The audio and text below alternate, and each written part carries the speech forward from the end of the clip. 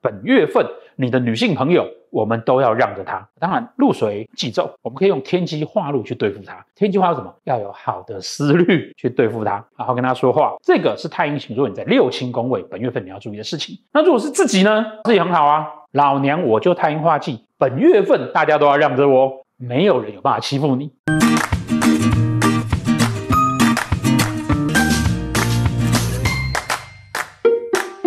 大家好，即将要进入农历十月了。农历十月、十一月、十二月要过年了。一直跟大家讲说，中秋节过后呢，我们就开始会受到隔年的天气化露影响。而且已经有很多网友都有回馈说啊，哎，大家开始感觉到明年那个乙年的天气化露了，对不对？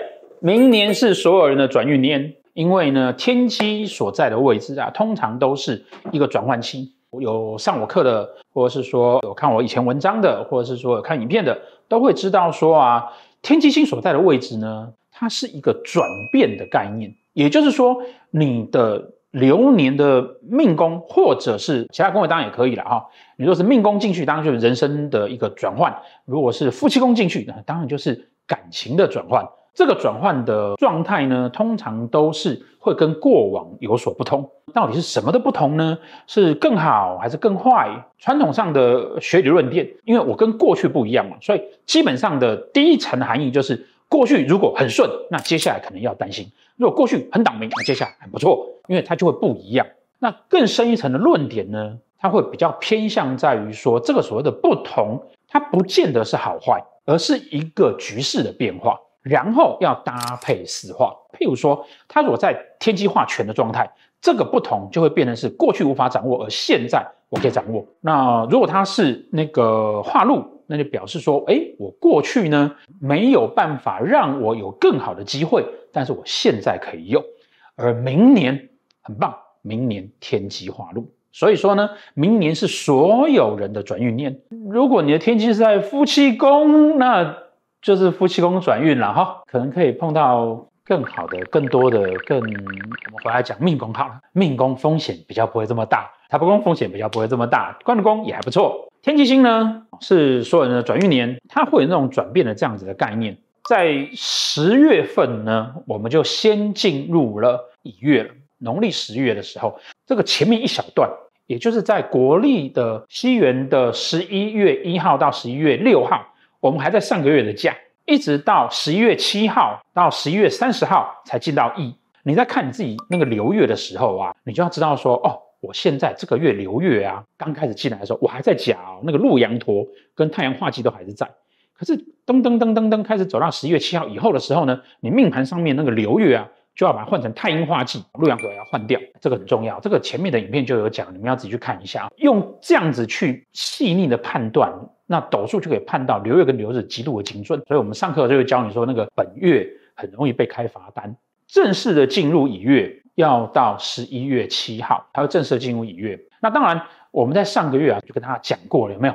要战争出现了，对不对？开始有人出来，那个好像要打仗的样子，有没有？年底到了哈，那个二零二五年一月的那个我们每年的年度趋势预测的年会又要开始了啊！有兴趣要报名的，可以赶快看链接看啊，报名啊！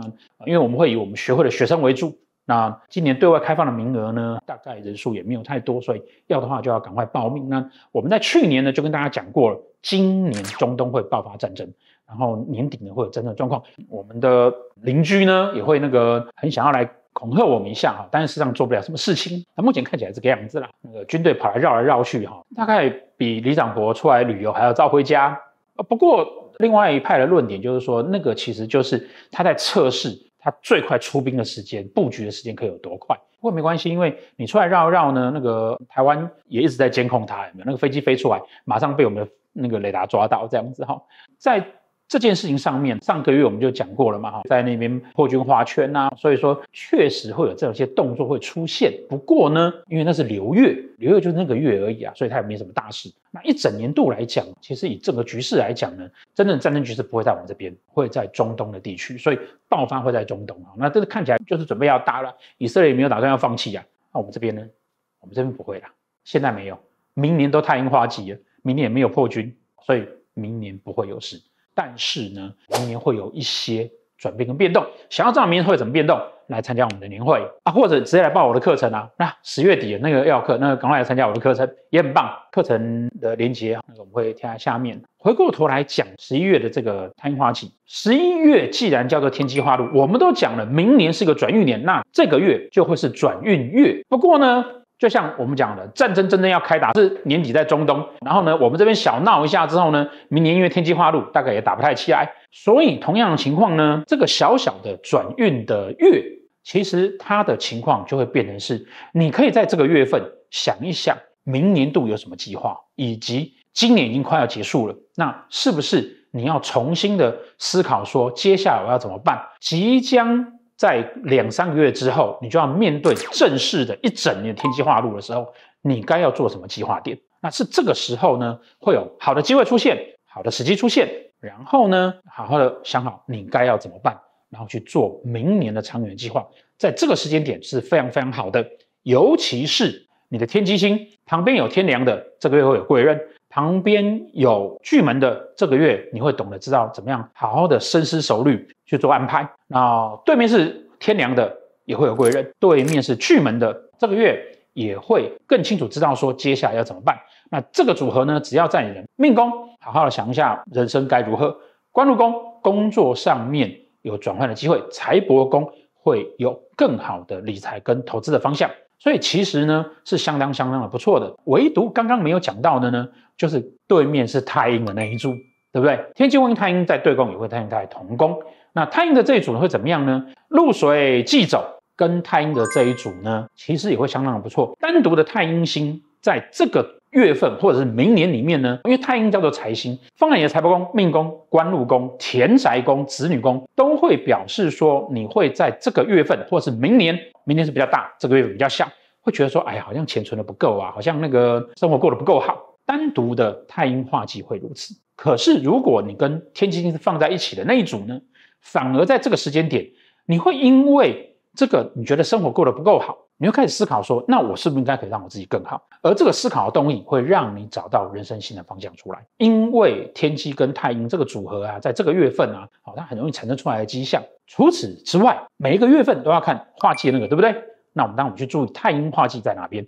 太阴化忌只要在你的六亲宫位，那基本上呢，你都要注意说，在这个宫位里面的女人，本月份我们都要让着她，因为他本月份就是整个是在一个觉得大家都欠着他，觉得大家都要让着他的状态。身边如果有女生，她刚好命宫是太阴的，那我们也要让着她。她这个月在化忌啊，她这个月空虚寂寞冷啊。你有什么好在这个月跟她讨论道理的呢？女人本来就不讲道理，更何况她还在画技。所以如果是这样子，那我们在这个月份呢，我们只要是譬如说仆役宫有太阴星，而太阴化忌，本月份你的女性朋友，我们都要让着她。当然入水忌咒，我们可以用天机化禄去对付她。天机化是什么？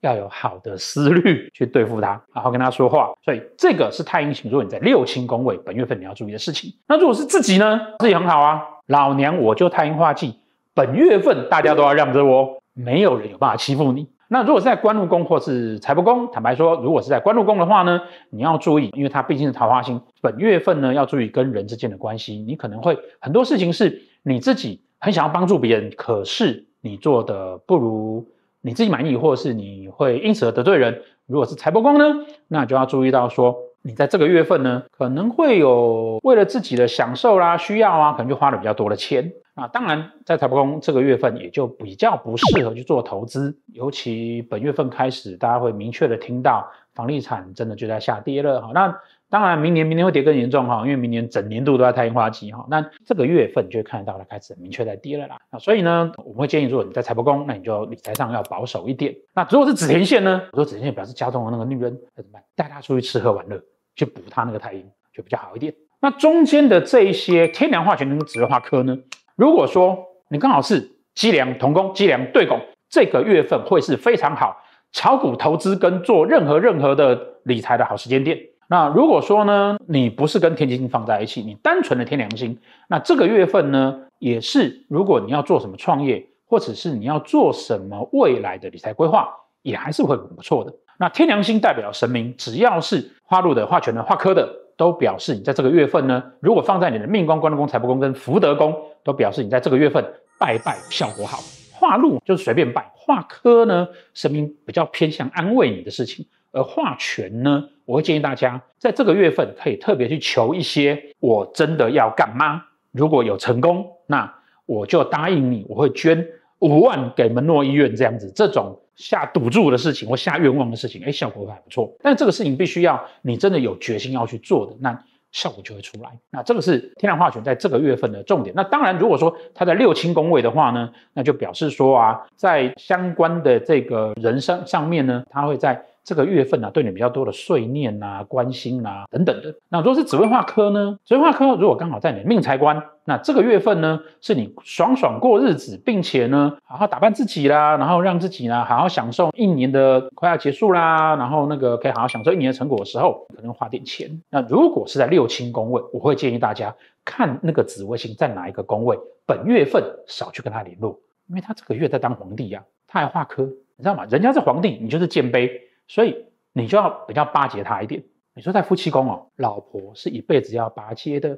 所以不管他是哪一颗星化科，不管他的紫微是化权还是化科，我们都要巴结。如果在夫妻宫就没有这个问题。所以以上呢，这个是农历十一月的情况。我们接下来就要进入了下半年了。下半年是一个转运年，希望知道明年的状况，欢迎来参加我们年度趋势预测的年会。然后希望明年呢，尤其你是天机、天梁、巨门，然后贪狼等等的星耀呢，放在这个命财官福德，明年呢都会是啊很好的学习命理的年份。